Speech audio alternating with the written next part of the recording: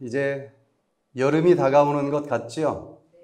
네, 햇살이 이제 따갑게 내려 쬐이는 아, 그런 계절입니다. 아, 제 얼굴로 좀 탔지요? 네, 어제 네, 오랜만에 CTS TV 방송에 가서 네, 녹화를 하는데 예전에 찍던 조도하고 안 맞는 거에 제 얼굴이 그새 계절이 바뀌면서 탔어요. 얼굴이 타는 이 여름의 햇살 반가워요? 좀 싫어요? 반가워요? 좀 싫어요? 싫어요. 예. 어디선가 조금 반갑다는 소리도 나오는 것 같기도 하고, 어, 대부분 좀 싫다고 그러는데, 아마도 이 햇살을 제일 싫어하는 민족이 있다고 하면은 전 세계에서 한국 사람들인 것 같아요.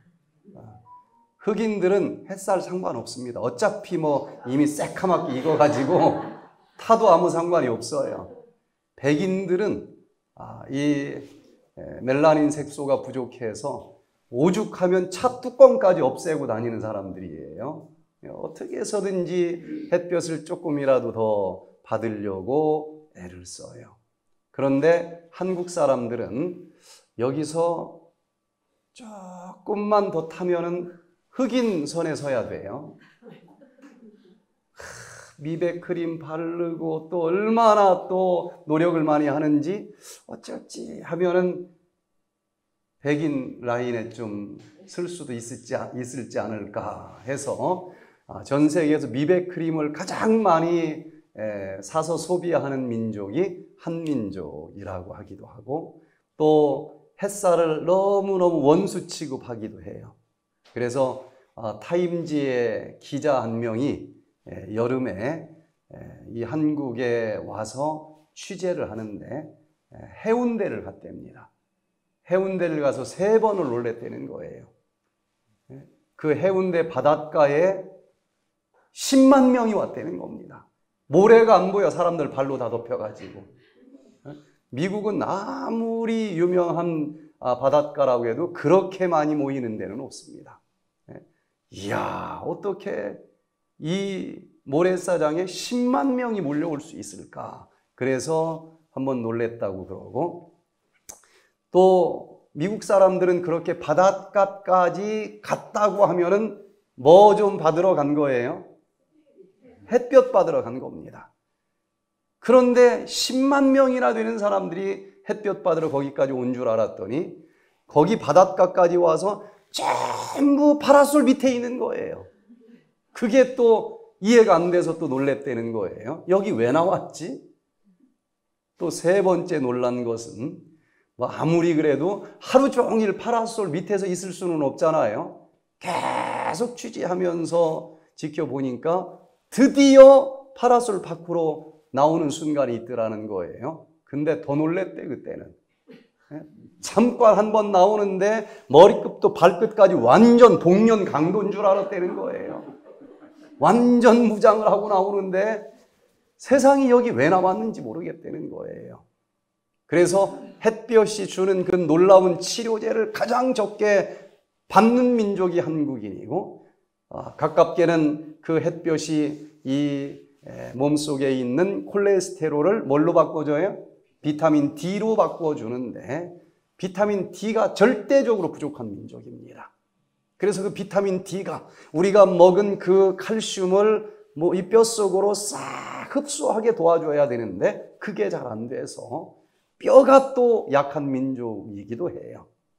그래서 이 햇살을 너무 원수 취급하지 말고 이 햇살이 얼마나 놀라운 치료의 광선인지 잘 깨닫고 아, 정말 이 계절에 최고로 많이 치료되는 계절이 되기를 간절히 기도합니다. 아, 이 스웨덴 스톡홀름 아, 여기만 해도 이제 좀 북쪽에 있는 나라잖아요. 햇볕이 부족해요. 햇볕이 부족하기 때문에 겨울철 우울증 환자들이 참 많습니다. 그래서 아, 버스를 기다리는 정류장에 조명을 설치를 했는데 아, 햇볕의 자외선, 어? 햇볕처럼 자외선이 많이 나오는 이 조명등을 환한 조명등을 예, 붙여놓고 이름하여 우울증 치료 조명 정류장이다 이렇게 이름을 붙였어요. 효과가 있을까요? 없을까요? 아, 이때는 것입니다. 예, 그 햇볕과는 비교도 되지 않겠지만 아, 이 햇볕이 절대적으로 부족한 이 나라에서 잠시 버스를 기다리는 동안이라도 그 인공 햇볕을 받고 이 자외선을 받을 때에 이 자외선이 세로토닌을 만들어주면서 마음을 평안하게 해주고 우울증 치료에 굉장히 도움이 된다라고 얘기를 합니다. 그런데 그 사람이 만든 햇볕이 뭐 얼마나 대단하겠어요. 예, 하늘만 쳐다보면은 얼마든지 예, 받을 수 있는 이 햇볕 이것을 잘 사용하면은 아마도 이 지구에서 가장 강력한 치료제가 될 거예요. 그러나 잘못 사용하면은 사망의 광선이 되기도 합니다.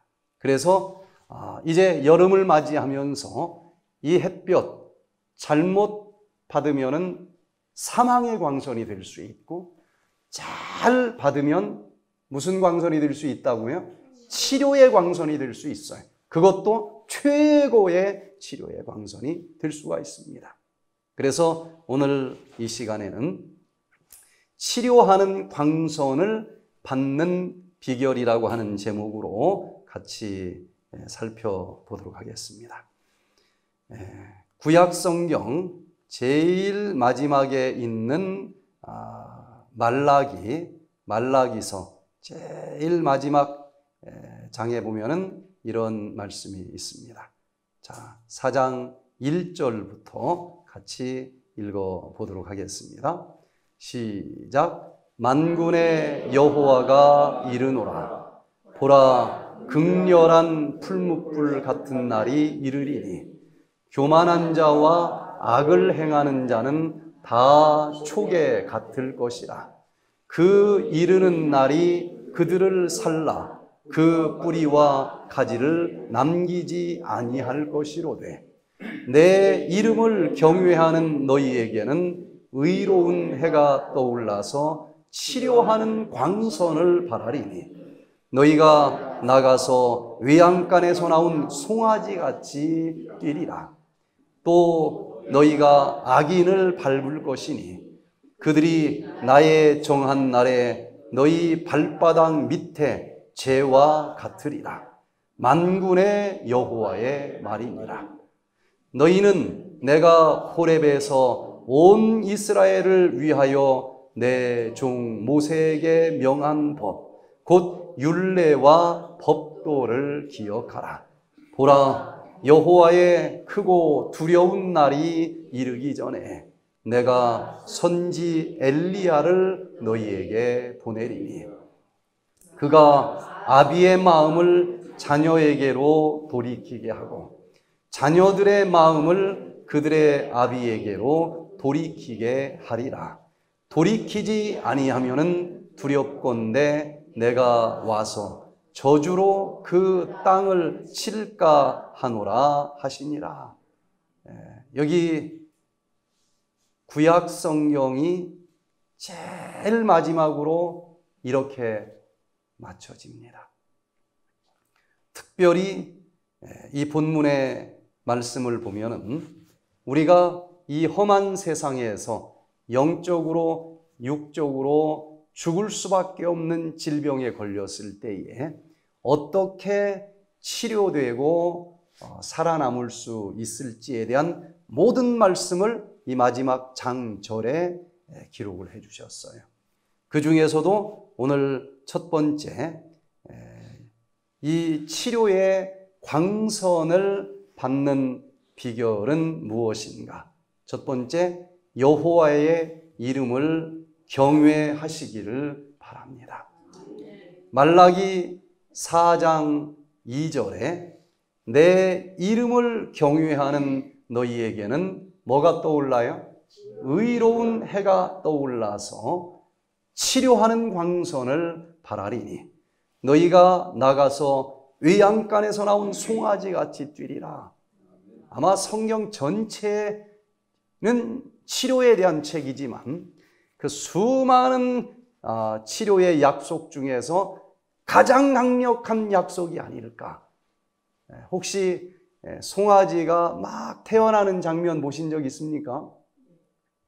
어때요? 딱 태어나면 어떻게 합니까? 네. 바로 그냥 벌떡 일어나긴 못하죠? 이게 일어날 수 있을까 없을까 넘어질 것 같고 막 그러더니 조금만 있으면 마당을 막 여기저기 사방을 뛰어다니는 걸 보면은 이야 어떻게 태어나자마자 몇 분 만에 저렇게 힘차게 뛰어다닐 수 있을까? 네? 지금 내 몸의 형편은 통증도 있고 허리는 오그라 붙었고 한 발 딱 내디디면은 이게 서 있을지 펴질지 걸을 수 있을까 없을까 그 정도로 심각한 질병을 가지고 있는데 여기 성경의 수많은 치료의 약속들 중에서 외양간에서 나온 송아지 같이 금세 치료되어 여기저기 뛰어다닐 정도로 회복되겠다라고 하는 이 약속보다 더 강력한 약속이 성경 어디에 있겠습니까? 그런데 성경에서 수많은 치료법들을 가르쳐 주셨지만 여기 진흙을 발라서 치료한 것도 아니고 예수님이 안수하셨다라고 되어 있지도 않고 여기 무엇이 떠오를 때 이런 치료가 일어난다 그랬습니까? 예, 의로운 해가 떠오를 때 그때 치료하는 광선이 바래지겠다. 그것을 제대로 된 방법으로 받기만 한다라고 하면은 이것이 치료의 광선이 되면서 내 모든 영적인 육적인 질병들이 치료되면서 외양간에서 나오는 송아지처럼 펄쩍펄쩍 뛰어다닐 정도로 기적적인 치료가 일어나겠다는 것입니다. 영적인 것이나 육적인 것이나 같은 창조주께서 만드셨기 때문에 전혀 다른 것처럼 보여도 작가가 같기 때문에 그 속에 있는 이 타입이 똑같아요. 타입이 똑같습니다. 예? 여기 우리 힐링센터 복도 이렇게 보면 수묵화가 여러 장 있죠. 예? 여러 작가가 그린 것 같아요. 한 작가가 그린 것 같아요. 예? 계곡도 틀리고 바위도 틀리지만은 보면은 한 사람이 그린 것 같죠. 아무리 여러 장을 그려도 타입이 똑같아요. 그 권용석 화백이 지금 여기 와 계신데 저쪽 건물 벽에다가도 작품을 지금 하나 남기려고 오늘도 하루 종일 우리가 같이 의논하고 구상하고 그러고 있어요. 한 창조주께서 영적인 것과 육적인 것을 만드셨기 때문에 전혀 다른 것처럼 보여도 다 하나입니다. 특별히 여기 의로운 해가 떠올랐다. 그냥 해가 아니고 의로운 해. 우리의 마음이 칠흑처럼 깜깜한 순간들도 있습니까? 아마 지금 있는지도 모르겠죠. 그러나 그때 저 태양도 아니고 의로운 영적인 해가 떠오를 때에 그때 이 칠흑처럼 어두운 근심, 걱정, 불안, 초조 이 모든 검은 먹구름은 한순간에 다 사라지는 기적이 일어날 것입니다. 그것이 치료의 광선이 될 거예요. 얼굴이 환하게 펼쳐지면서 그 영적인 그 태양의 빛은 이 육적인 세포까지도 밝게 만들어주면서 암덩어리가 언제 없어졌는지 녹아 없어져 버리고 굽었던 허리가 일자로 펴지면서 지팡이 던져버리고 할렐루야 외치면서 뛰어다니는 그 모습 저는 여기 있는 외양간에서 나온 송아지 같이 뛰리라 문자 그대로 이 기적이 이 백퇴덴에서 일어나는 모습을 너무너무 많이 봤습니다.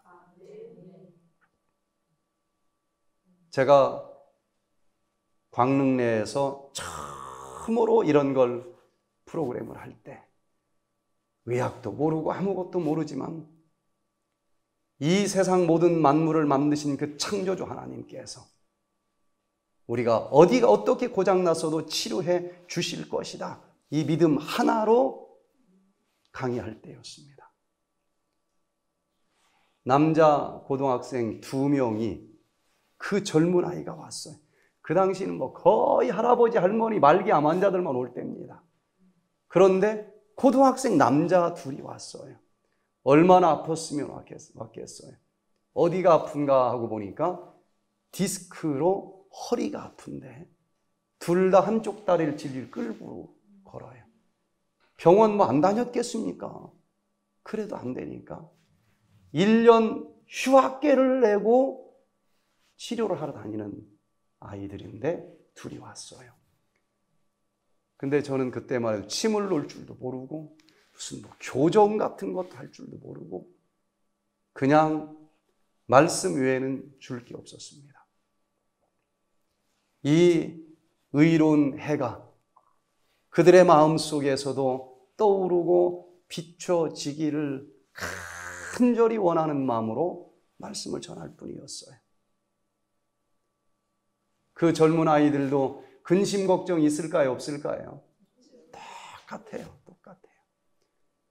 그 의로운 태양이 떠오르면서 마음의 먹구름이 싹 사라지는데 4일, 5일째 되는 날. 그냥 걸어 다니기만 해도 굉장할 텐데 산을 펄쩍펄쩍 두 친구가 뛰어다니는 거예요. 외양간에서 나오는 송아지처럼 뛰어다니겠다라고 하는 이 말씀 외에는 떠오르는 생각이 없습니다.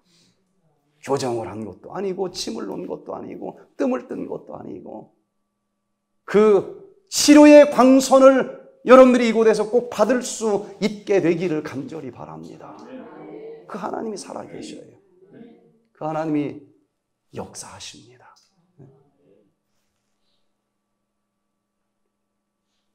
이렇게 성경에는 치료의 광선도 있지만 사망의 광선도 있어요. 이 태양을 잘 활용을 하면은 치료의 광선이 될 수 있지만 잘못 사용하면은 사망의 광선이 될 수도 있다고 하는 거예요. 말라기 4장 1절에 보면은 교만한 자와 악을 행하는 자는 다 촉에 같을 것이다. 어? 다 풀립에 지나지 않습니다. 그 이르는 날이 그들을 살라. 그 이르는 날은 뭘까요? 누가 이르는 날일까요? 의의 태양 되시는 그분이 의의 태양의 빛으로 그들에게 임하는 그날. 똑같은 태양이지만 그들을 다 살라 그 뿌리와 가지를 남기지 아니할 것이로되 똑같은 의의 태양이 가까이 오는데 그 사람 마음 속에 교만한 마음이 있고 그 사람 마음 속에 악이 가득 차 있을 때에 그 의의 태양은 그들을 뿌리까지 다 불살라 버리는 사망의 광선이 될 수 있다는 것입니다. 똑같은 햇볕이 강하게 내려 쬐이면 쬐일수록 진흙덩어리는 점점점 강팍하게 굳어질 것이고 밀랍은 점점점 점점 더 부드럽게 녹아지는 것을 보지 않습니까? 그 책임이 누구에게 있어요? 자신에게 있어요.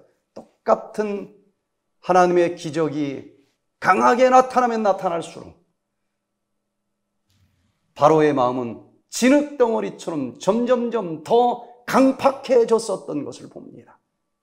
똑같은 기적을 보면서 모세는 마음이 더욱더 부들부들해지는 것을 우리는 기억합니다.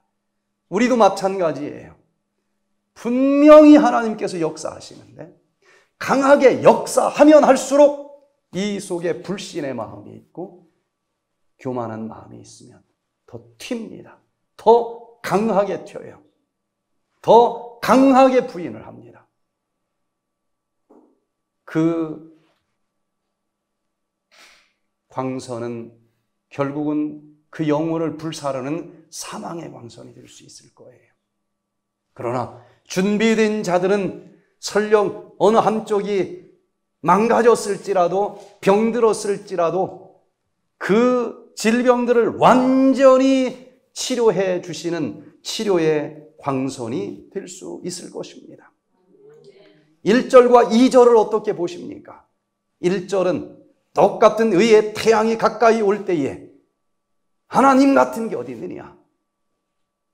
이 속에 자기가 하나님 앉아야 될 자리에 앉아 있으면서 교만하고 악을 행하는 그런 자들은 그 의의 태양에 의해서 그게 심판의 불이 될 것이고 결국은 다 불살라 태워져 버리는 사망의 왕선이 될 수 있을 것이고 하나님의 이름을 경외하는 자들 그들에게는 그 의로운 태양이 치료하는 광선이 되어서 외양간에서 나온 송아지 같이 뛰게 되는 것입니다. 똑같은 이 태양이 지금 우리에게 더욱더 가까이 비추어지는 그런 계절을 맞이했습니다. 잘 활용하는 자들은 그 햇볕이 우리 혈관 속에 있는 이 글리코겐 합성 효소를 높여주는 치료의 광선이 될 거예요. 글루코스라고 하는 포도당이 피 속에 너무 많이 굴러다니면 당뇨병이죠.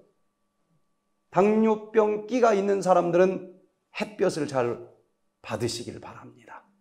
그러면 그 포도당을 글리코겐으로 포장해주는 글리코겐 합성 효소가 자외선에 의해서 막 상승이 되면서 포도당이 글리코겐으로 포장되면서 혈당이 떨어지게 되어 있다는 거예요. 치료의 광선이 됩니다.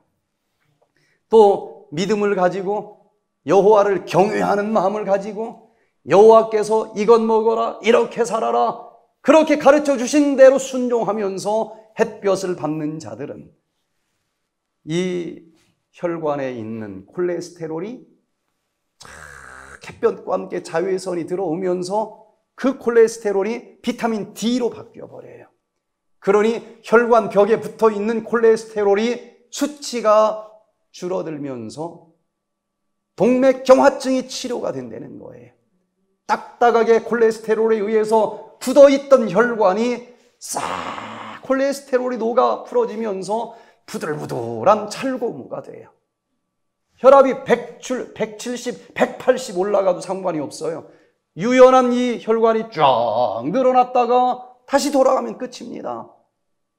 그러나 그 콜레스테롤이 혈관벽에 너무 많이 달라붙어 있는 사람들은 딱딱하게 혈관이 굳어서 160 혈압이 올라가면 견디지 못하고 터져버려요. 뇌출혈이 오는 것입니다.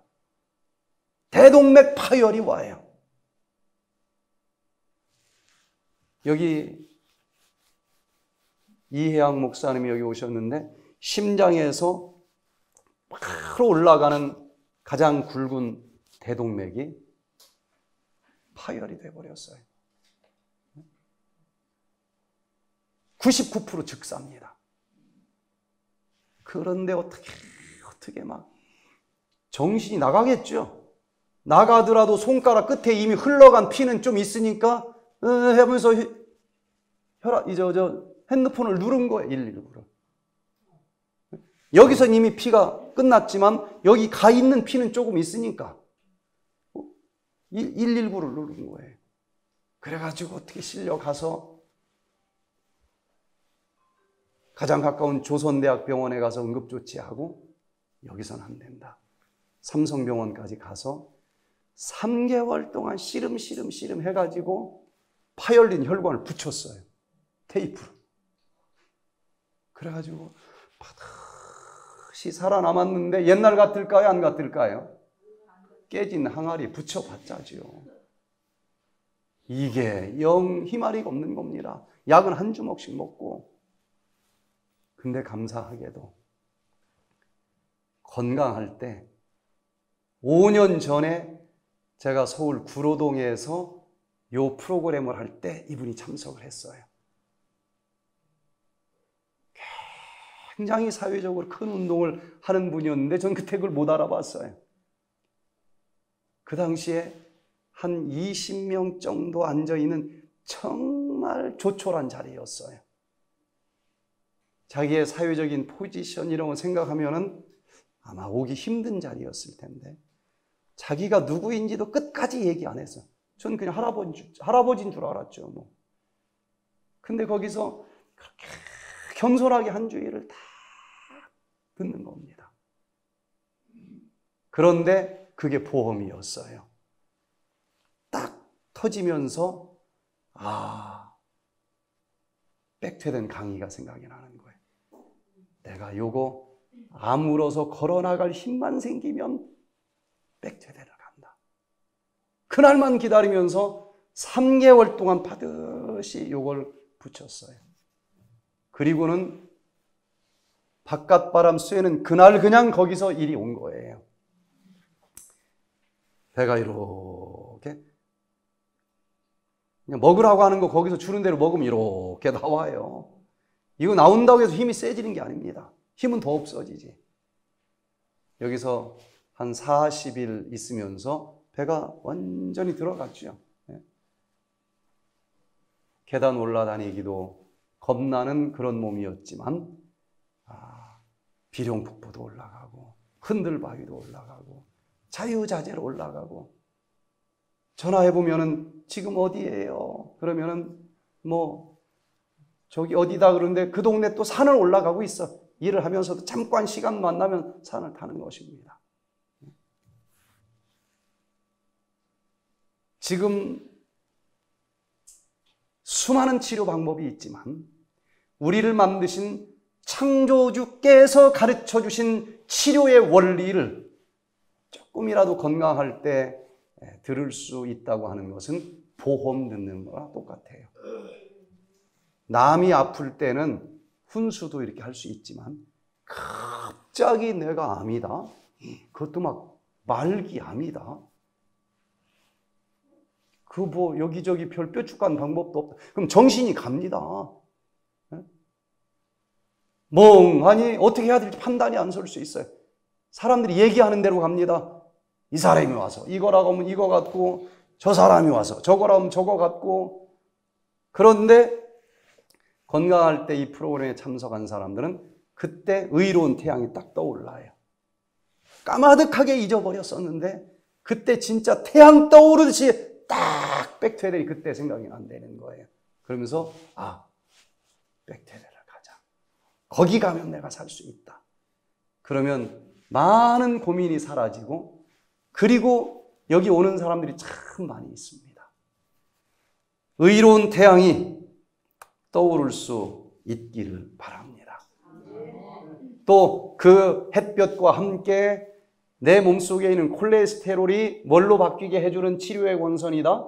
비타민 D로 또 바꾸어 주는 광선이기 때문에 그 비타민 D가 칼슘을 싹 흡수하도록 도와줍니다.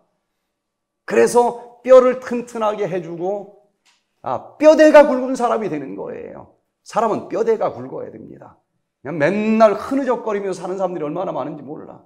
요 사람이 이렇게 얘기하면 이리, 이리 기울었다가 저 사람이 저렇게 하면 저리 기울었다가 영적으로도 뼈대가 튼튼해야만 됩니다. 누가 뭐라고 해도 흔들림 없이 위풍당당하게 자기가 걸어가야 될 그 표대를 향해서 나에게 주어진 한 평생 여기 갔다 저기 갔다 그러면 제자리 걸음밖에 안 되는 거예요. 사람마다 다 걸어갈 길은 달라요. 너는 내가 이렇게 만들어줬으니까 이 길을 걸어가라. 하나님께서 주신 그 길이 있습니다.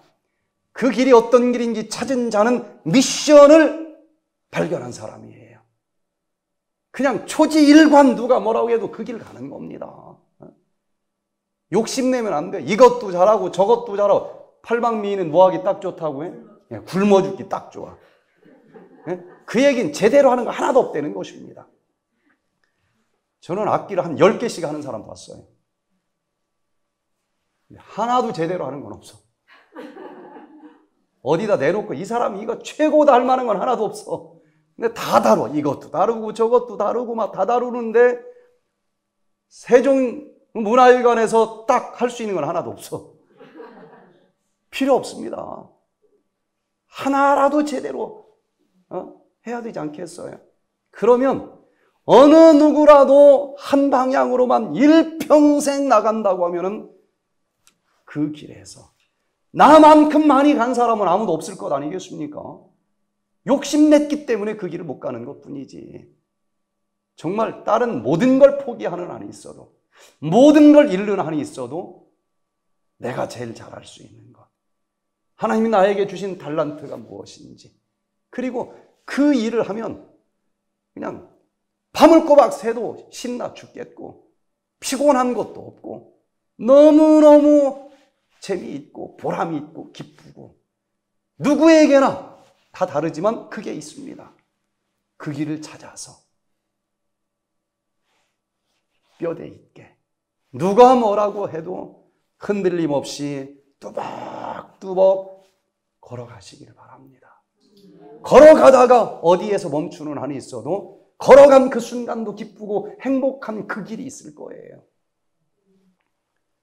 시료의 광선이 비춰오면은 콜티손, 콜티손 호르몬이 생성이 됩니다. 네. 관절 염증으로 통증이 있는 사람들에게 놀라운 치료제가 될 수가 있습니다. 또 그 햇볕 속에 있는 자외선이 내 몸속으로 들어오면 황달의 원인이 되는 이 빌리루빈 수치를 감소시켜 줍니다. 그래서 간경화증이 있으면서 얼굴이 자꾸 누런색이 찾아오는 황달기가 오는 사람들. 이 일광욕은 최고의 치료제가 됩니다. 어린아이들이 딱 태어나면 신생아들이 얼굴이 좀 누르스름한 경우 많이 있죠. 신생아 황달. 빌리루빈 처리하는 능력이 아직 만들어지지 않은 거예요. 그런데 이 아이들이 태어난 신생아 병실에서 눈썰미 있는 간호사가 가만히 보니까 저쪽 창가 밑에 있는 아이들이 요 누런 색깔이 빨리 치료가 되는 거예요. 그냥 또 지나칠 수도 있지만 이게 뭐지? 하고 제일 누런 아이를 바꿔서 그 자리에다 놨더니 금방 내 얘가 또 얼굴이 깨끗해지는 거예요. 어쩌다 한 번 일어나는 건 우연이지만 똑같은 조건에서 두 번, 세 번 똑같은 현상이 일어나면 이건 과학입니다. 그래서 아, 황달 치료에 햇볕 치료가 최고다. 그래서 간경화증 환자들의 이 계절은 잘 배워서 치료를 하면 이건 최고의 계절이 오는 거예요. 제가 이 강의는 겨울에는 안 해요. 마음만 아파. 잘못하면 감기 걸려 죽어. 지금 제대로 배우면 춥지도 않지, 덥지도 않지. 이건 뭐 최고의 치료의 광선. 근데 딴 데서 이 강의 안 합니다. 강의 해봤자 이거 걷고 누울 데가 없네. 도시서도 이 강의 잘 안 해요. 도시서 강의를 했더니 이야 햇볕이 이렇게 좋아 하고 일광욕을 한다고 보니까 어디 할 만한 데가 없네 아파트에서 그나마 유리창에서 햇볕이 들어오니까 그 유리창 쪽으로 가서 옷 다 벗고 일광욕을 했어. 근데 강의 들을 때 졸았나 봐. 유리창을 자외선이 통과하면 95%가 차단됩니다. 그걸 그때 졸았어, 이분이. 그래 좀 쌀쌀하니까 유리창 닫고 벌거벗고 거기서 일광욕을 했는데 효과 하나도 없어요. 옆집 아저씨 눈요기만 시켜줬어. 할 데가 없어요. 할 데가 없어요. 제가 여러 장소에서 이 요양원, 요양병원을 했는데 이게 최고의 치료제라고 하는 것을 알았는데 광릉 내에서도 일광욕을 제대로 할 만한 장소를 만들지 못했어요. 덕유산 요양원도 마찬가지. 다 봐가지고 어떻게 할 수가 없어. 여수 요양병원에 갔을 때는 아 옥상에서 하면은 아무도 못 보겠다 하고 막 기대를 하고 갔어요. 아 이걸 반절 딱 나눠서 이쪽은 남자 일광욕실, 저쪽은 여자 일광욕실. 이러면 되겠다. 아무도 안 보여. 산 중턱에 있으니까. 그렇게 이제 계획을 세우고 그 뒤에 있는 봉화산 꼭대기를 어느 날 올라가 딱 봤더니 다 보이네. 응? 거기서도 못했어요. 에덴 요양병원에 가서 내가 틀림없이 한다. 아무리 둘러봐도 할 데가 없어요. 그런데 여기 탁 설악산을 봤더니 피골 계곡을 올라가는데 계곡 중간 중간 탕이 있죠. 네, 선녀탕이 있어 선녀탕. 조금 올라가면 나무꾼 탕도 있어요. 그런데 산책로 개발해 놓은 이 길로 가면은 겨울에는 다 내려다 보이지만 여름에는 나뭇잎이 다 가로막아가지고 예? 선녀들이 목욕을 해도 보이질 않아. 어? 그래서 선녀들은 선녀탕으로 가고 나무꾼들은 나무탕, 나무탕으로 가서 여기 다행히 또 아무도 올라오는 사람들도 없어요. 그냥 딱 들어가면 지금은 좀 춥지만 여름에는 너무너무 온도가 딱 좋아요. 딱 들어갔다가 따뜻하게 데펴진 바위 덩어리는 이건 원적에서는 찜질 탕입니다. 거기 탁 누워서 있다 보면은 그냥 이건 산림욕에다가 뭐 피톤치드에다가 음리온에다가 자외선에다가 어? 이건 뭐 한꺼번에 모든 것이 돼요. 그래서 여기서는 일광욕장 따로 안 만들어도 되겠다. 그래서 지혜로운 사람 그걸 해요. 예전에도 한여름에 까무잡잡하게 태우기만 하면은 겨울에 뭐 안 걸린다는 말이 있어요? 말은 다 하는데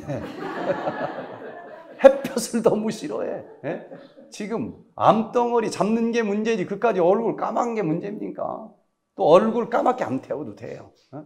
일광요법 다음 주에 제대로 좀 과학적으로 아, 한번 강의를 할 텐데 얼굴 안 타도 돼요. 그래서 이 계절이 정말 불치병 환자들에게는 최고의 계절이에요.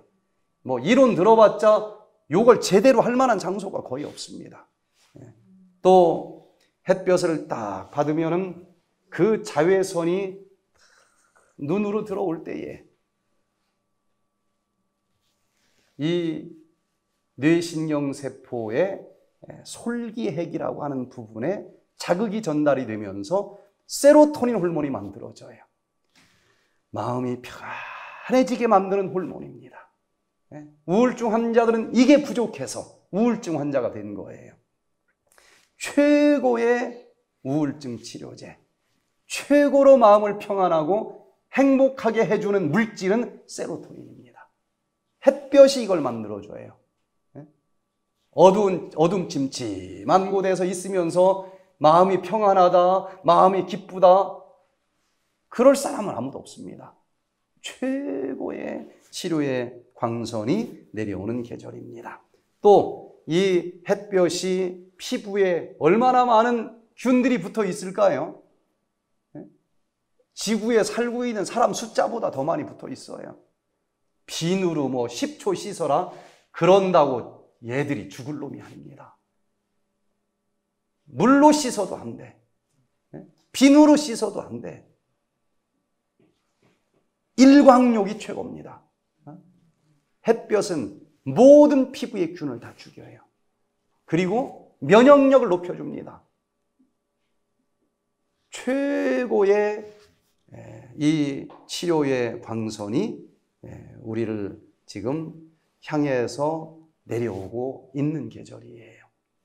그러나 이 햇볕을 잘못 사용하면 똑같은 햇볕인데 최고의 사망의 광선이 됩니다. 똑같은 햇볕이 내려오는데 이 재질이 진흙 같은 놈이면 자꾸 강팍해질 것이고 재질이 밀랍 같으면 부들부들해지듯이 똑같은 자외선인데도 내 마음 속에 어떤 믿음을 가지고 햇볕을 받느냐에 따라서 사망의 광선이 될 수도 있고 치료의 광선이 될 수도 있어요. 네. 자, 이 자외선은 활성산소를 발생시킵니다. 네? 활성산소. 공기 중에 있는 산소를 자외선이 한 방 땅 치면은 활성산소가 만들어져요. 그리고 에덴 동산에서 가르쳐 주신 먹거리까지 예? 만드신 분이 나에게 가르쳐 주신 음식이 최고 아니겠느냐 하고 이해하고 믿음으로 에덴 동산의 채식 위주의 식사를 하는 사람과 맛있으면 됐지 뭐. 그냥 맛있는 건 다 먹어. 예? 하여튼 다리 달린 건 책상 다리 빼놓고 다 먹어. 그러면 콜레스테롤이 넘쳐요 내 몸에. 예? 지방질이 넘쳐요.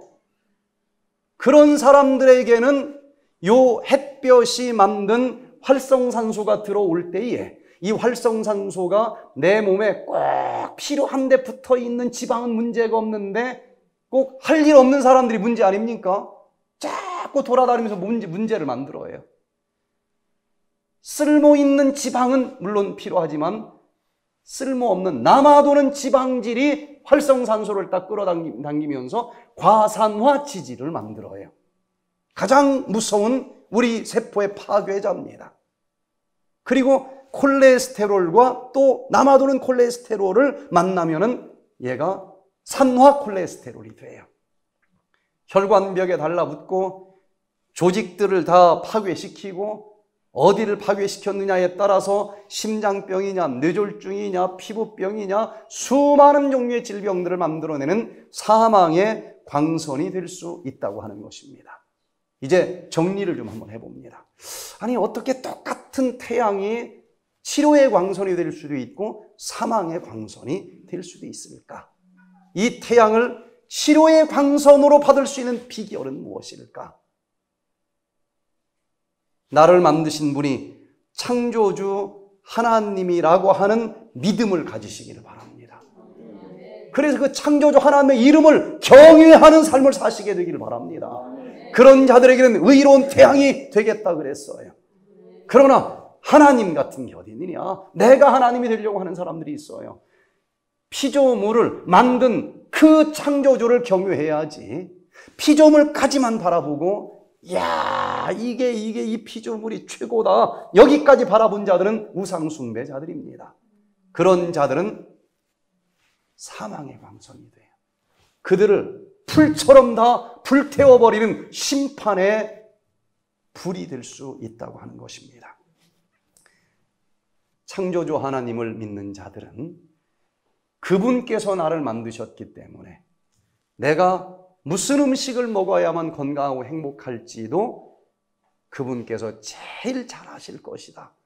그런 믿음을 갖는 사람이 될 것입니다. 그러면 에덴에서 가르쳐 주신 음식대로 먹는 거예요. 채식을 하는 사람들은 콜레스테롤이 딱 적당량만 먹도록 그 식단이 조절을 해줘요. 남아도는 콜레스테롤이 없습니다. 도대체 남아도는 지방이 없어요. 그래서 햇볕을 받아도 뭐 과산화 지질 만들 이유도 없고 또 산화 콜레스테롤 만들 남아도는 콜레스테롤도 없어요. 그냥 얘는 균만 죽여주지 또 또 혈당 낮춰주지 또 뼈만 만들어주지 면역력 강화시켜주지 오히려 치료의 광선이 되지만 하나님의 말씀을 믿지 않고 내 멋대로 믿는 사람들이 있어요. 맛있으면 다 먹어. 보암직스럽고 먹음직스러우면 다 먹어. 그냥 이 고기 저 고기 다 먹어. 예?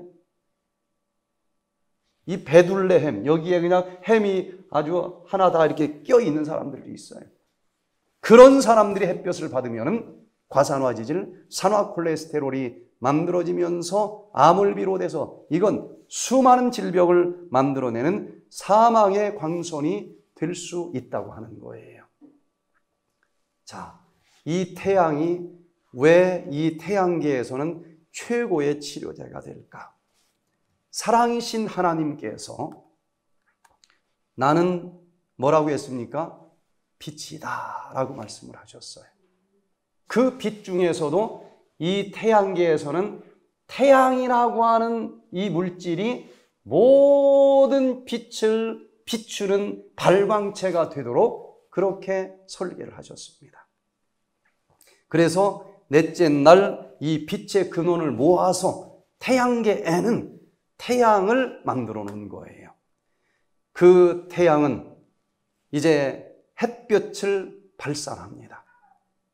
그 햇볕을 인간이 직접 받아먹을 수 있는 그런 시스템이 되어 있지는 않지만 식물들은 그 재주를 갖도록 만들어 놨어요.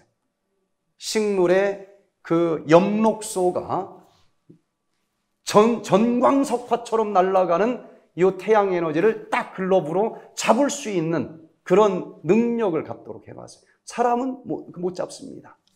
어떻게 잡는가? 이제 이 식물의 잎사귀 속에 있는 엽록소라고 하는 글러브는 공기 중에 떠돌아다니는 CO2, 이산화탄소를 딱 잡아 땡깁니다. 그리고 이 뿌리에서부터 뽑아 올린 H2O, 물을 끌어올려서 이 엽록소에서 딱 두 개를 같이 끌고 옵니다. 그러면 이 두 개를 글러브로 삼아서 딱 날아가는 햇볕 에너지를 잡는 거예요. 그러면 그 햇볕 에너지가 엽록소 속에 들어와서 CO2, 독소죠. 이산화탄소를 그 태양 에너지가 딱 찢어서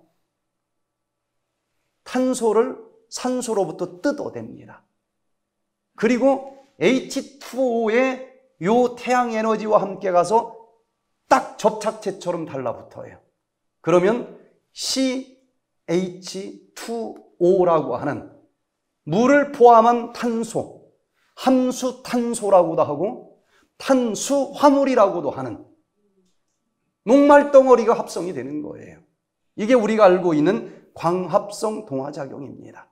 자, 탄소가 물에 가서 달라붙었으니까 뭐가 이제 하나 남아 돌아요? 네? 탄, 이산화탄소에서 탄소를 찢어다가 물에 붙여줬으니까 뭐가 남아요? 산소가 남죠. 그래서 나뭇잎에서는 계속 산소가 풍겨 나오는 것입니다. 그래서 기분이 좋은 거예요. 이 탄수화물을 잎사귀에도 모아놓지만 결국은 어디다 저장을 합니까? 열매에다 저장을 하는 거예요. 쌀에다가 저장, 사과에다 저장. 예? 결국은 탄수화물인데 창조주께서는 멋쟁이에요. 포장지를 그렇게 다양하게 어떤 건 바나나 포장지로 탄수화물을 담아놨고 어떤 건 뻘거족족한 사과로 포장을 해놨고 그러나 다 탄수화물입니다. 이것을 이제 음식으로 먹으면 사과 자체가 세포 속으로 들어갈 수는 없어요. 너무 커요. 쌀 한 알이 들어갈 수는 없습니다. 딱 탄수화물 하나짜리만 들어갈 수 있어요. 세포 속에 있는 미토콘드리아로. 그래서 내가 좀 도와줘야 됩니다. 입으로 씹어야 돼. 잘게 잘게 씹어요. 그래도 안 되면 씹을 때 나오는 침이 화학적으로 또 분해해줘. 그래서 이 CH2 하나짜리 될 때까지 쪼개주도록 먹어준 사람은 육모에서 싹 흡수를 할 수 있고 그냥 세 번, 네 번 씹고 삼키는 사람들은 탄수화물이 500개씩 뭉쳐 있어서 먹느라 고생만 했어요. 하나도 흡수가 안 돼. 썩어 장에서. 육모까지 다 녹여버려요. 장염이 생깁니다.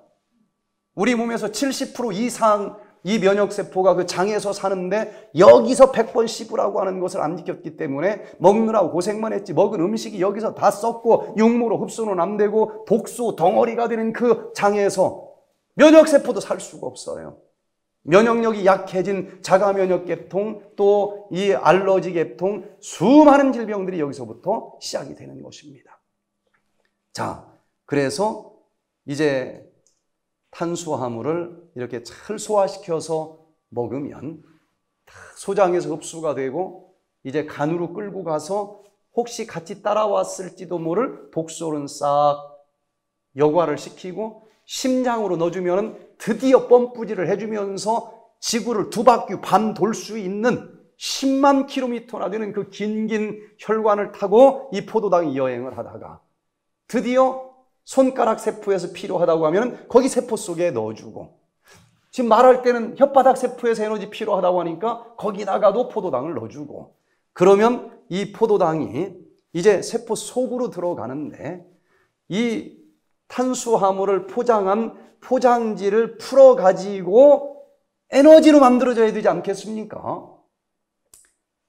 이 장작을 태우면서 에너지로 불태우는 보일러실 역할을 우리 세포 속에서 누가 합니까? 미토콘드리아가 해요. 그래서 미토콘드리아로 들어가면은 요 탄수화물을 다시 그림으로 그려, 그려보면 탄소, 새카만 탄소 하나가 붙어 있고 H2O, 물이라고 하는 분자가 붙어 있는데 이 속에 태양 에너지가 지금 포장이 되어 있는 거예요. 그러면 이 에너지를 우리가 사용하기 위해서는 포장지를 벗겨야 되지 않겠습니까? 포장지 벗길 때는 가위가 좀 필요하지 않겠어요? 여기에서 가위 역할을 해주는 친구가 누구인가 하면 O가 몇 개? 두 개. O2. 산소가 요걸 포장지를 찢어주는 역할을 합니다. 그래서 계속 산소를 들이마시고 그거 4분만 마시지 않으면 에너지 안 만들어지는 거예요. 죽는 거예요. 뇌신경세포가.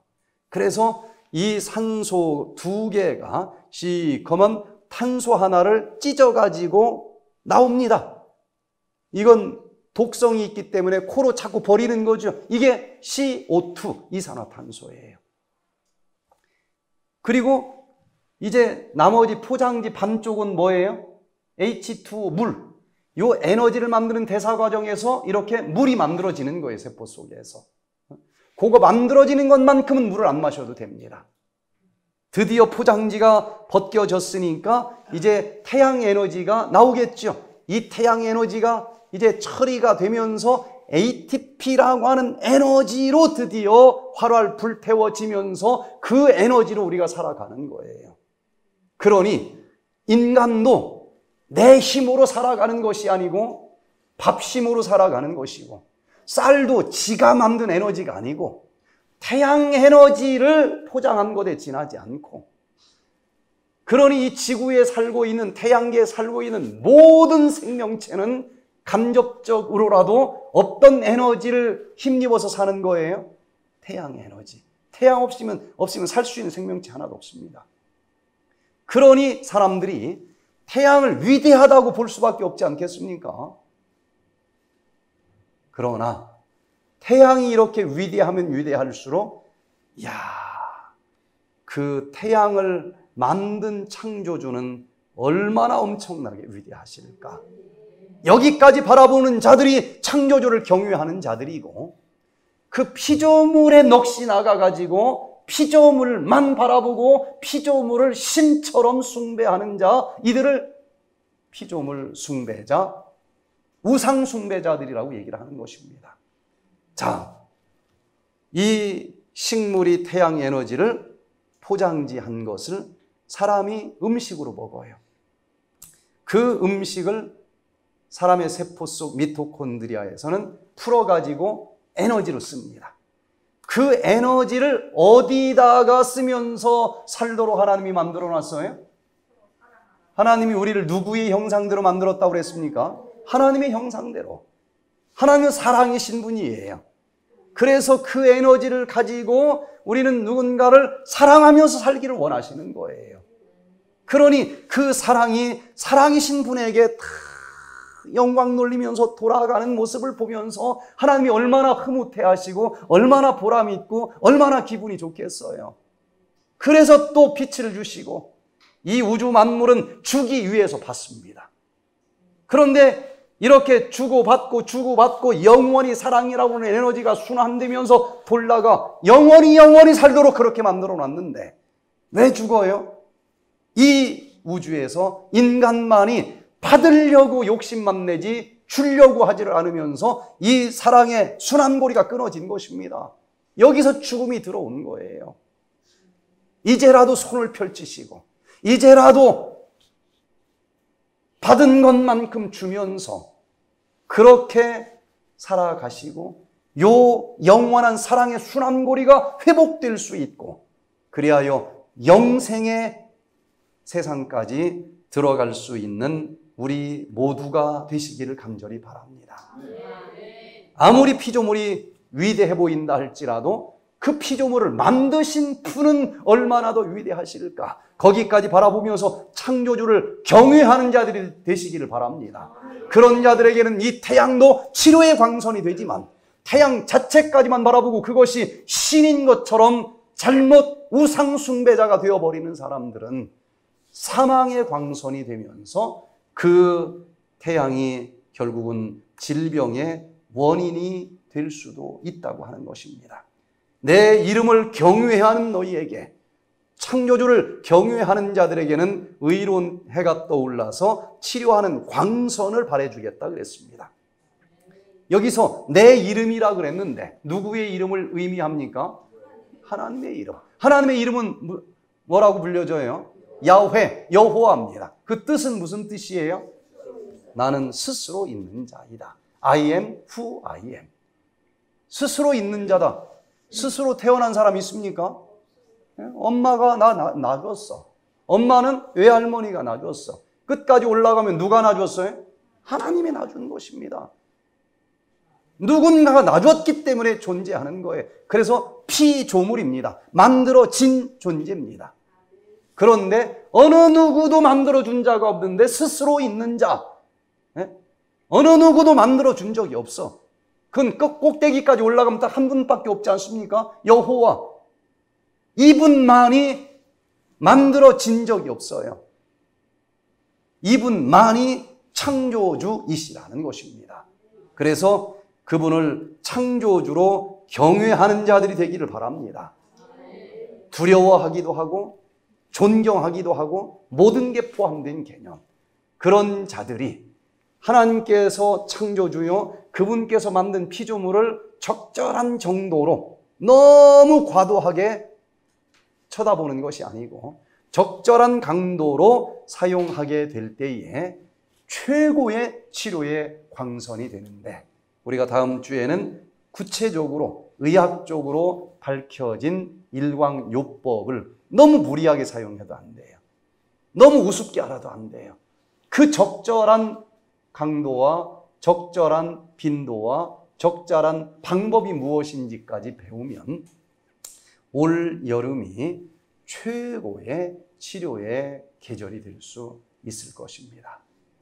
우리 모두 아, 이 계절이 바뀔 때마다 그 계절만이 줄 수 있는 최고의 치료제들을 마음껏 받아 누리시면서 질병 없이 건강하게 100세까지 다 누리면서 살다가 저 영원한 하늘까지 들어갈 수 있기를 간절히 바라면서 오늘 말씀을 마치겠습니다.